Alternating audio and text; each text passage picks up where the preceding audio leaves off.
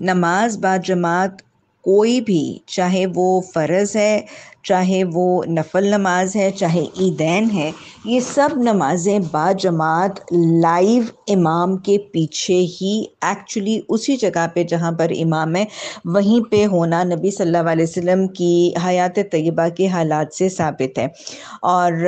एक गायबाना तौर पर इमामत का तस्वुर हमें कहीं कुरान और हदीस से नहीं मिलता। और ना ही इस पर कोई इश्तहाद मौजूद है और ना ही कोई ऐसा तस्वुर, कोई वाक़ भी ऐसा मौजूद नहीं है। यहाँ तक कि हमें तो हदीस से ये पता चलता है कि अगर बीच में इंटरप्ट करते हुए कोई कॉन्टीन्यूटी सफ़ों की नहीं है, कोई दीवार बीच में आ गई और सफ़ों की जो कॉन्टीन्यूटी है वो रुक जाती है, तब भी हयात तय्यबा के कुछ वाक़ात से पता चलता है कि वो बाद वाले लोग और दूसरे लोग जो हैं वो जमात में शामिल नहीं होते हैं। तो लिहाजा एक कॉन्टीन्यूटी ज़रूरी है और लाइव इमामत के पीछे नमाज़ पढ़ना, चाहे वो फ़र्ज़ है, चाहे वो नफल है, वो